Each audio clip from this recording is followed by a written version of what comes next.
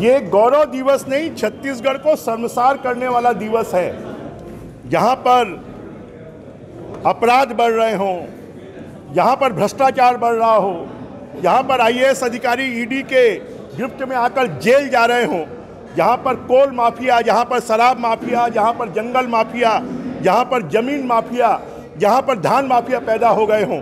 जहाँ के नौजवानों को आत्महत्या करने के लिए, किसानों को आत्महत्या करने के लिए मजबूर होना पड़ा हो, जहाँ के किसानों को आत्महत्या करने के लिए मजबूर होना पड़ा हो, और जहाँ पर विकास के काम अवरुद्ध हो गए हैं, खाली मुख्यमंत्री जी अपना चेहरा चमकाने के लिए सबके अधिकारों को छीन लिया है। ऐसे शर्मसार करने वाले छत्तीसगढ़ के मुख्यमंत्री जी और सरकार के जो कृत्य हैं, वो निश्चित रूप से हम सबका माथा शर्म से झुका देते हैं। ये आरक्षण को लेकर कह रहे हैं कि बीजेपी की वजह से जो है राज्यपाल साइन नहीं कर रही है। किस तरीके से देखते हैं बयान को कांग्रेस के? कांग्रेस के मुख्यमंत्री जी को, कांग्रेस पार्टी को पश्चाताप करना चाहिए। उनको प्रदेश की जनता से माफ़ी मांगना चाहिए।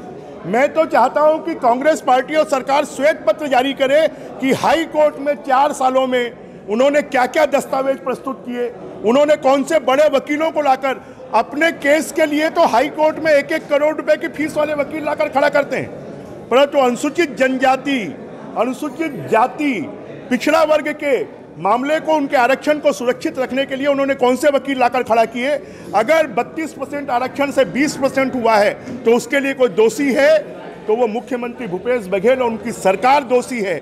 अब अपनी गलती को छुपाने के लिए कहीं मुँह दिखाने लायक नहीं है तो अब राज्यपाल जी को दोषारोपण कर रहे हैं।